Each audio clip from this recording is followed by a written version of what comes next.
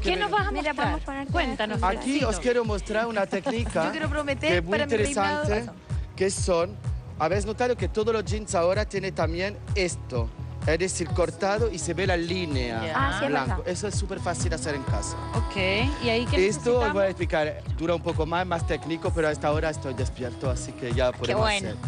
Vale, tú co- se lleva el jeans al revés, como si tú lo miras bien, tú tienes una línea así y una línea así, ¿vale? Exacto. Así que lo que vamos a hacer, tú haces como un pliegue así en el jeans, así mira, se ve, hacemos un pequeño pliegue y voy con la, tijera así y después corto recto. Perfecto. Karen, anota, anota todo. Estoy anotando, es como Está una, bueno una eso, cruz. ¿ah? Sí, aquí y después lo que hay que hacer es poco a poco ir tirando los hilos blancos con los dedos Y queda el jean nomás. Con y los queda dedos. solamente el jeans.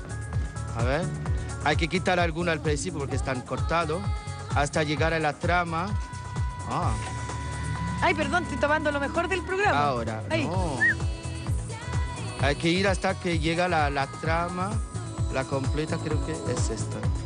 Anota, Karen, anota. Ah, aquí estamos estirando.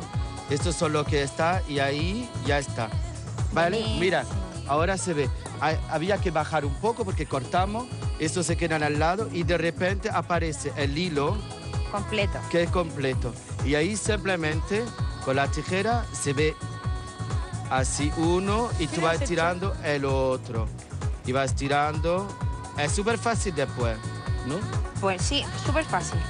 Y ve que después cuando se da al revés, ya se nota que el jeans tenemos los hilos guardados. Y esto, un trabajo de paciencia, pero para ocupar los niños de 10 años. Por supuesto. Más pequeños no, pero a partir de 10 años se Es puede verdad. ocupar. Perfecto. Me encantó, fíjate. Y ya está.